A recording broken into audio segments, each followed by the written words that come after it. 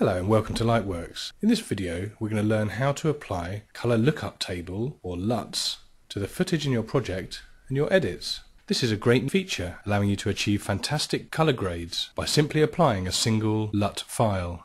Please note, due to licensing restrictions we're not able to supply lookup table files for you, but they're freely and widely available on the internet. You can simply export your colour look from your favourite grading program. Well, let's get going and start applying some looks. There's a few different ways you can apply your colour looks to the media in your Lightworks project.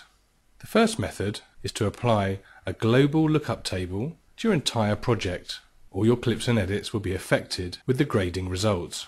To apply a global lookup table, simply go to the project card, go to the video section, and go down to the viewing lookup table section. Loaded lookup tables appear in this list. By default, we only have one lookup table loaded. In order to have more appear in this list for selection, you can browse to the folder containing the lookup table files and select them. Then those looks will appear in the list. Lightworks supports all the popular lookup table extensions .davlut, .cube, .3dl, .mga, and .look. Select the files or whole folders as you please and hit OK.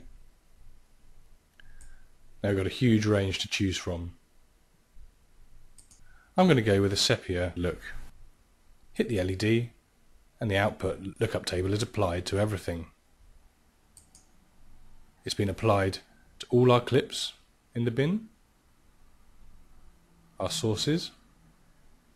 It's also been applied to the edit globally as well. To bypass that, simply turn it off again and everything reverts to default.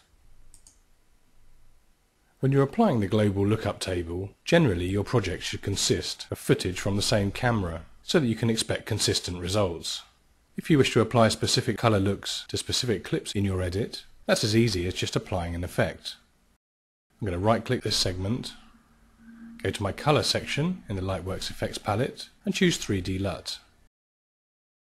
So then the Effects Settings panel comes open and we can choose from the range of LUTs that we've actually already imported when we imported the LUTs to the Global panel.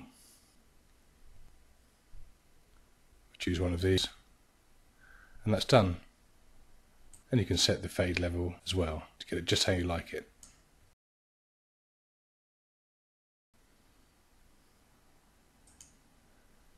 Don't forget that you can do the same to your source clips on the source timeline. Got my source shot here. I've opened the timeline. Right click, add the effects, add a lookup. Same again. Another source clip as the effect applied to it before it hits the edit. Now my shots in this edit here are all DNG sequences straight out of a Blackmagic Cinema camera Four of the five shots have been shot on the same setting, but one of them, the settings were slightly incorrect, so I've already gone in and added my own grading using the Lightworks colouring. Shots 1, 2, 4 and 5 are all from reel number 1, and this shot here is from camera reel number 2. So taking that into account, I'm going to apply a LUT to 1, 2, 4 and 5 using the add effects function to matching shots. From my timeline settings menu, I'm just going to set the clip texts to display reel information. Now you can see reel 1, reel 1, reel 2, reel 1, reel 1.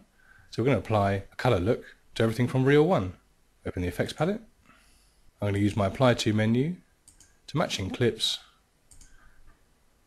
everything from reel 01 is going to take the lookup table effect.